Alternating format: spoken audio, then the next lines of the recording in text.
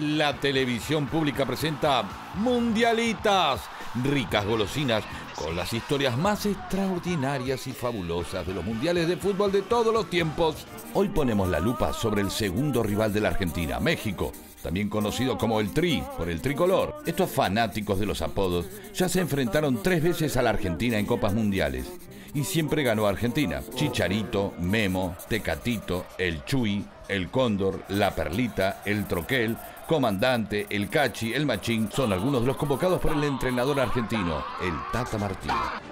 En 1930 en Uruguay y en fase de grupos, Argentina los goleó por 6 a 3, con tres tantos de Guillermo Estabile, dos de Adolfo Bernabé, Sumelzú y uno de Francisco Pancho Baralo. En Alemania 2006 y en octavos de final, ese día jugaron como titulares Lionel Scaloni y Lionel Messi, arrancaron ganando los mexicanos, pero en el alargue, ¿cómo olvidar el zapatazo aquel de Maxi Rodríguez?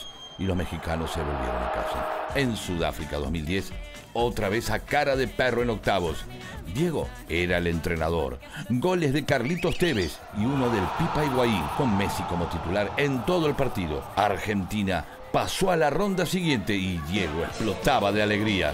Ojalá se repita en Qatar. Así que vamos, Argentina. Esto fue Mundialitas, exclusivo para la televisión pública. En cualquier momento volvemos con más grajeas de los mundiales de fútbol de todos los tiempos.